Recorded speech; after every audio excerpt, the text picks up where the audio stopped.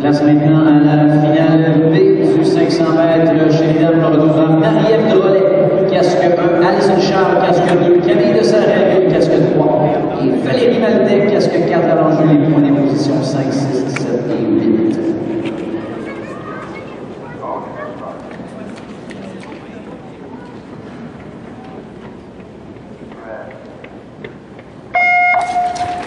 And we're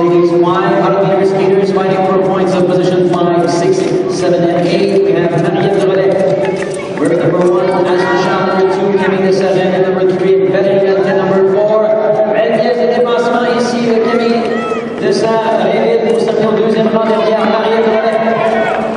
C'est une expérimentée de l'équipe canadienne qui